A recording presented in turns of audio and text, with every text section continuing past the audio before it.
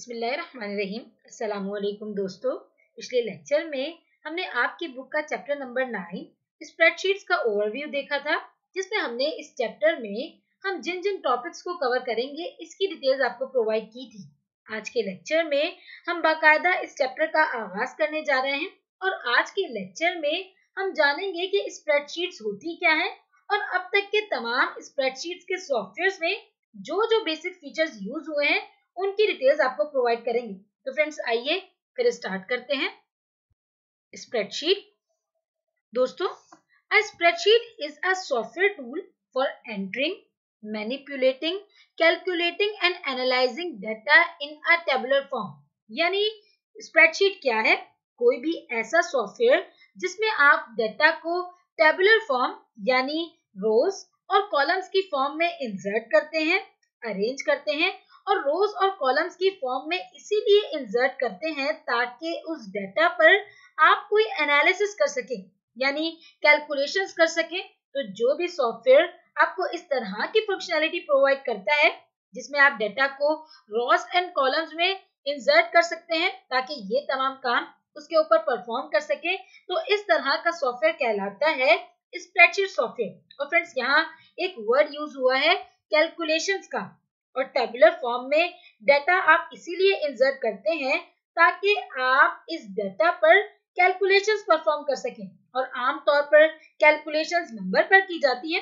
तो इससे हमें ये पता लगा कि the spreadsheet the speciality of spreadsheet is working with numbers यानी स्प्रेडशीट में जो मेन डाटा होता है, वो होते हैं नंबर्स आप नंबर्स को स्प्रेडशीट में इंसर्ट करते हैं ताकि उस पर कैलकुलेशंस परफॉर्म कर सकें। इसके अलावा आप टेक्चुअल डाटा भी उसके अंदर डाल सकते हैं, जैसे कि लेबल्स वगैरह भी आप स्प्रेडशीट में इंसर्ट कर सकते हैं।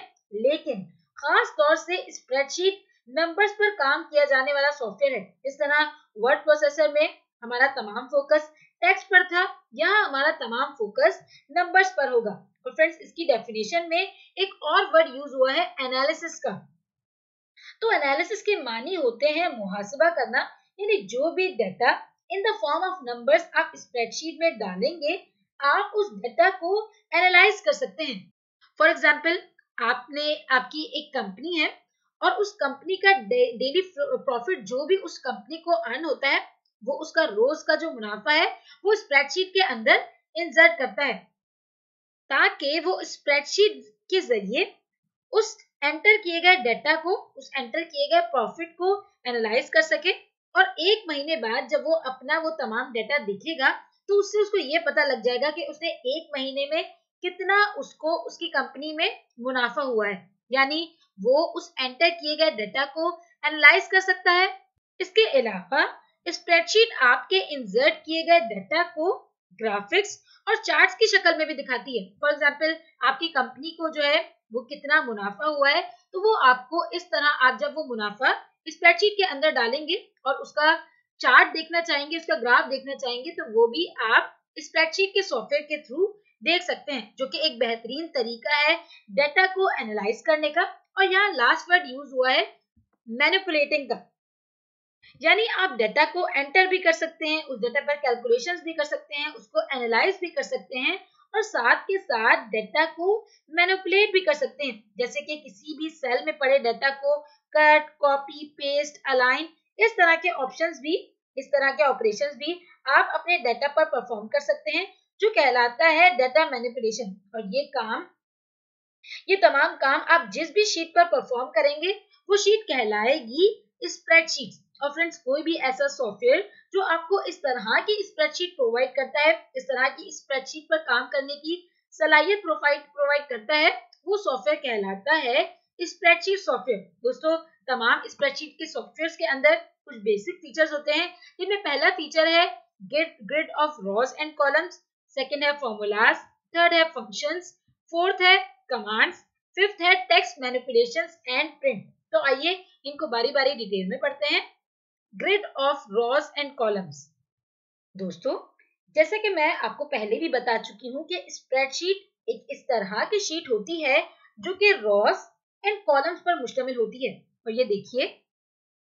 Spreadsheet consists of rows and columns of cell. यानी स्प्रेडशीट को रॉस एंड कॉलम्स में इसीलिए ब्रेक किया जाता है ताकि वो सेल बन सके। और सेल क्या है? A cell is simply at the is simply the small box at the intersection of rows and columns यानी, जब ये रॉस एंड कॉलम्स की लाइन आपस में टकराती है इंटरसेक्ट होती हैं तो ये इस तरह का सेल बनाती हैं। यानी अगर आप ये देखें, ये एक कॉलम है और ये है रॉ जब इस सी कॉलम की, इस सी कॉलम की ये लाइन और इस रॉ की ये लाइन आपस में इंटरसेक्ट होगी इस जगह पर तो यहाँ पर आपको ये एक बॉक्स नुमा, एक छोटा सा बॉक्स नज़र आ रहा है, जो कहलाता है सेल और फ्रेंड्स ये देखिए each cell in spreadsheet is identified by its own unique cell address. दोस्तों, अगर आप इस तस्वीर में ही देखें तो आपको बहुत सारे सेल्स दिख रहे हैं और हर एक सेल को दूसरे सेल से अलग करने के लिए हर एक सेल को एक यूनिक सेल एड्रेस असाइन किया जाता है, जो कि बताता है कि वो सेल इस स्प्रेडशीट में कहाँ रखा हुआ है। और फ्रेंड्स आप ये सोच रहे होंगे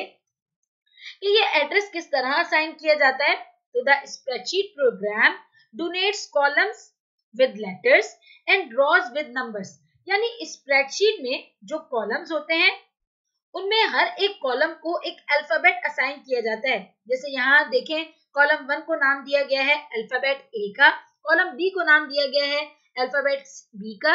इसी तरह तमाम कॉलम्स को ए टू जेड तक नाम दिए जाते हैं। यानी ए टू जेड तक के अल्फ़ाबेट असाइन किए जाते हैं और तमाम रॉस को नंबर्स असाइन किए जाते हैं। जैसे अगर आप यहाँ पर देखें तो यहाँ रॉ वन का नाम है वन रॉ टू का नाम है टू और इसी तरीके से जैसे जैसे रॉस आगे बढ़ती जाएँगी तो उन्हें तमाम नंबरिंग असाइन की जाएगी। और फ्रेंड्स यहाँ आपको इस तस्वीर में कुछ ही रॉस एंड कॉलम्स दिख रहे हैं, जबकि जो पॉपुलर स्प्रेडशीट सॉफ्टवेयर हैं, उनमें हर एक स्प्रेडशीट में 200 कॉलम्स और 8000 तक की रॉज होती हैं। और सोचे इतनी सारी रॉज एंड कॉलम्स जब आपस में इंटरसेक्ट होंगे तो उनसे कितने सारे सेल्स बनेंगे? और जितने ज़्यादा सेल्स होंगे, उतने ही ज़्यादा डाटा आप उन सेल्स में इंसर्ट कर सकेंगे। क्योंकि फ्रेंड्स याद रखिए स्प्रेडशीट में तमाम डाटा आप सेल्स में ही अरेंज कर सकते हैं। और जैसे कि मैंने आपको बताया कि हर एक सेल का एक एड्रेस होता है तो वो एड्रेस कैसे असाइन किया जाता है? तो फ्रेंड्स वो असाइन किया जाता है रॉस एंड कॉलम्स के ज़रिए।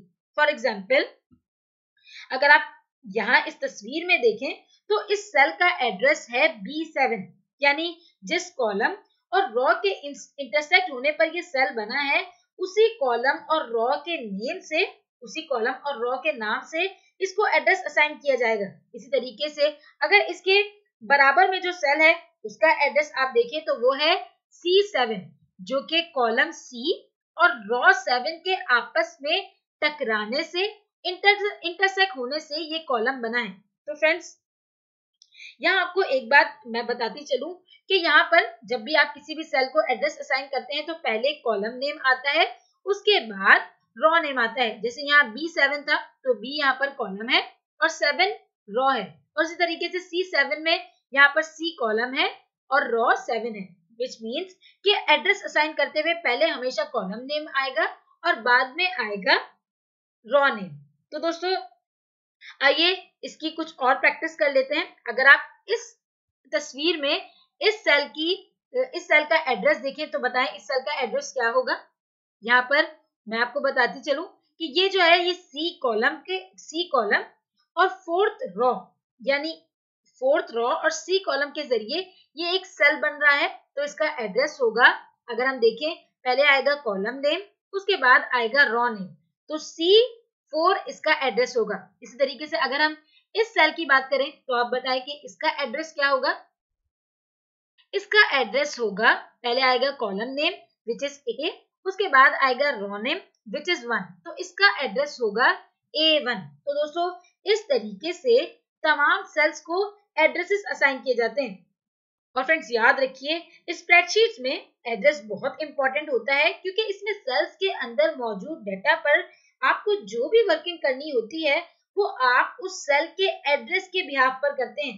कैसे? ये आपको हम आगे डिटेल में बताएँगे। तो फ्रेंड्स ये फीचर यानी ये रॉज एंड कॉलम्स का फीचर ये सेल का फीचर किसी भी स्प्रेडशीट का सबसे इंपॉर्टेंट फीचर होता है। इसके बाद जो नेक्स्ट फीचर है, वो है फॉर्मूलाज दोस्तों, जैसे कि मैंने आपको पहले भी बताया कि स्प्रेडशीट में आप ज़्यादातर तमाम वर्किंग नंबर्स पर करते हैं। कैसे? उन नंबर्स पर कैलकुलेशन परफॉर्म करके। मान ले, आपने स्प्रेडशीट में नंबर इंसर्ट कर दिए, मगर उन नंबर्स पर आपने कोई कैलकुलेशन नहीं की तो उन नंबर्स को इंसर्ट करने का भी कोई फ़ायदा नहीं है। और अगर आपको इन नंबर्स पर कोई भी कैलकुलेशन परफॉर्म करवानी है तो यहाँ आपको ज़रूरत पड़ती है फॉर्मूलाज की, जो कि स्प्रेडशीट सॉफ्टवेयर को बताते हैं कि उन्हें इन सेल्स में पड़े हुए नंबर्स के साथ करना क्या है। तो दोस्तों, ये फॉर्मूला क्या है? A formula is an expression that instructs the spreadsheet program to perform calculation and manipulation on the contents of cells यानी कोई भी एक्सप्रेशन जिसके ज़रिए आप सेल्स में मौजूद डेटा पर कोई भी मैथमेटिकल कैलकुलेशन या फिर मैनिपुलेशन परफॉर्म करवा रहे हैं तो वो एक्सप्रेशन कहलाएगी फॉर्मूला फॉर एग्ज़ाम्पल यहाँ सेल यहाँ सेल A1 में पड़ा है, एक नंबर विच इज़ टेन और सेल ए टू में पड़ा है दूसरा नंबर विच इज़ हंड्रेड अब अगर आपको इन दोनों नंबर्स को आपस में सम करवाना है, जमा करवाना है, और जमा करवाने के बाद रिज़ल्ट सेल A3 में स्टोर करवाना है तो आप इसके लिए फॉर्मूला क्या बनाएँगे? आप इसके लिए फॉर्मूला बनाएँगे A3 equals to A one plus A two यानी ए वन सेल में जो भी वैल्यू है और ए टू सेल में जो भी वैल्यूज़ हैं उन्हें आपस में प्लस कर दें और रिज़ल्ट रख दें A3 में। तो इस तरह की एक्सप्रेशन कहलाती है फॉर्मूला और फ्रेंड्स यहाँ आपको एक और चीज़ क्लियर हो गई होगी कि हमने यहाँ सेल एड्रेसेस पर काम किया है। तो सेल एड्रेस बहुत इंपॉर्टेंट होता है, क्योंकि अगर आपने गलत एड्रेस लिख दिया A2 के बजाय A3 लिख दिया A5 लिख दिया तो हो सकता है आपको रिज़ल्ट भी गलत फेस करना पड़े। तो डेयर फ्रेंड्स ये था फॉर्मूला का फीचर जो कि किसी भी स्प्रेडशीट के सॉफ्टवेयर को पावरफुल बनाता है इजी बनाता है सिंपल बनाता है। इसके बाद जो नेक्स्ट फीचर है, वो है फ़ंक्शंस दोस्तों फ़ंक्शंस क्या है? Functions are use to perform certain task यानी स्प्रेडशीट्स में अगर आपको कोई टास्क परफॉर्म करवाना है तो उसके लिए स्प्रेडशीट आपको कुछ रेडीमेड फ़ंक्शंस प्रोवाइड करती है। फॉर एग्जांपल अभी हमने दो सेल्स में पड़े हुए डेटा को सम करवाया था। इस तरह से एक फॉर्मूला लिख के अब अगर आपको इसका बना बनाया फ़ंक्शन मिल जाए तो इसमें आपको कितनी आसानी हो जाएगी? अभी आपने एक पूरी एक्सप्रेशन लिखी थी, एक खुद से फॉर्मूला बनाया था, लेकिन स्प्रेडशीट आपको इसका बना बनाया सम का एक फ़ंक्शन प्रोवाइड करती है। तो इस तरह आपको स्प्रेडशीट में कई तरह के फ़ंक्शन मिल जाएँगे, जैसे कि मैथमेटिकल लॉजिकल इग्नोमेट्रिक फाइनेंशियल वगैरह, यानी हर तरह के रेडीमेड फ़ंक्शंस आपको स्प्रेडशीट प्रोवाइड करता है, जिसके ज़रिए आप अपने कामों को निहायत ही आसानी के साथ परफॉर्म करवा सकते हैं। और दोस्तों, ये फ़ंक्शन की डेफिनेशन देखिए।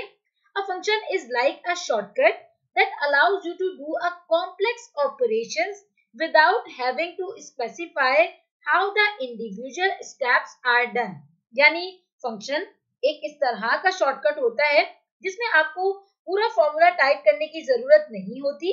आप एक छोटे से वर्ड जो कि फ़ंक्शन कहलाता है, उसके ज़रिए बड़े से बड़ा कॉम्प्लेक्स ऑपरेशन परफॉर्म करवा सकते हैं। और ये फ़ंक्शंस आपको कौन प्रोवाइड करता है? ये फ़ंक्शंस आपको प्रोवाइड करता है स्प्रेडशीट का सॉफ्टवेयर तो दोस्तों, इसके बाद जो नेक्स्ट फीचर है स्प्रेडशीट का, वो है कमांड्स दोस्तों स्प्रेडशीट आपको कई तरह की कमांड्स प्रोवाइड करता है, जो कि आप किसी इंडिविजुअल सेल पर अप्लाई कर सकते हैं। जैसे रॉस के लिए अलग कमांड्स होती हैं कॉलम्स के लिए।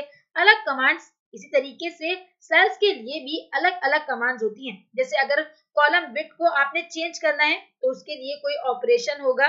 वो ऑपरेशन जिसके ज़रिए कॉलम की विट को आप चेंज कर सकते हैं, बढ़ा कर, बढ़ा या घटा सकते हैं, वो ऑपरेशन कहलाएगा कमांड्स इसी तरीके से किसी सेल को आपने मूव करवाना है, किसी रॉ को आपने फिल करना है तो इन तमाम कामों को करने के लिए स्प्रेडशीट का सॉफ्टवेयर आपको अलग अलग कमांड्स प्रोवाइड करता है। इसके बाद जो नेक्स्ट फीचर है स्प्रेडशीट का, वो है टेक्स्ट मैनिपुलेशन दोस्तों स्प्रेडशीट का एक बहुत अच्छा फीचर ये भी है कि आप इसमें नंबर्स को तो इंसर्ट कर ही सकते हैं, साथ के साथ आप इसमें टेक्सुअल डेटा को भी इंसर्ट कर सकते हैं और इंसर्ट करने के साथ साथ आप उस टेक्स्ट को मैनिपुलेट भी कर सकते हैं।